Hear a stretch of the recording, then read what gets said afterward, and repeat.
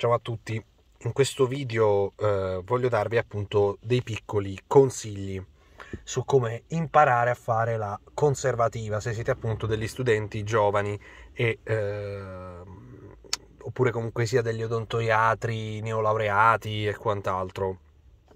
Chiaramente questo è il metodo che attuai, che utilizzai io dopo la uh, laurea quindi è chiaro che è un mio consiglio strettamente personale. In primo luogo, se volete imparare la conservativa, quindi se volete imparare ad otturare i denti, dovete studiare, quindi vi consiglio di prendervi un buon libro di conservativa. È chiaro che all'università avrete già visto gli aspetti generali della conservativa, di che cosa si tratta, quindi già ne capirete tanto. Però potete approfondire il vostro studio sulla letteratura scientifica, iscri- iscrivendovi alle accademie di odontoiatria conservativa e quant'altro, seguendo corsi, webinar, contenuti YouTube gratuiti, eh, di tutto e di più. Però appunto per prima cosa dovete studiare. Una volta che avete appunto studiato, quindi che siete padroni dell'argomento, potete appunto iniziare ad esercitarvi in questo modo. Dovete praticamente prendere un bicchiere di plastica e ci dovete colare all'interno praticamente del gesso.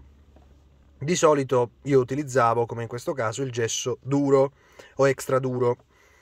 Una volta che avete fatto questa basetta di gesso, mentre il gesso sta per fare prese, quindi sta per indurire, ci inserite all'interno dei denti estratti. È chiaro, uno può dire, vabbè, ma io sto all'inizio, dove li trovo i denti estratti? È chiaro che uno appena si laurea, quando è studente prossimo alla laurea, inizia a seguire degli studi, magari nello studio in cui state seguendo, chiedete se vi possono dare appunto dei denti estratti, oppure se per esempio possono Uh, darvi appunto un po' di gesso proprio per crearvi questo tipo di uh, basetta. Io appunto qui ne ho diverse, questa qui per esempio è un'altra, però il concetto vale per tutte le basette.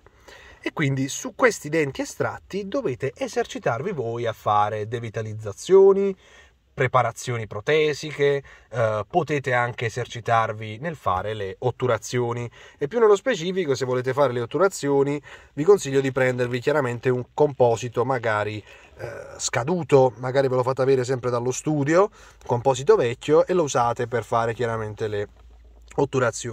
Quindi con il trapano, è chiaro che questa cosa non la potete fare a casa perché dovete avere il trapano, dovete avere la lampada, eccetera, eccetera, eccetera. Quindi è una cosa che chiaramente va fatta in studio, magari tra un paziente e l'altro, quando eh, diciamo avete un po' di, di tempo libero.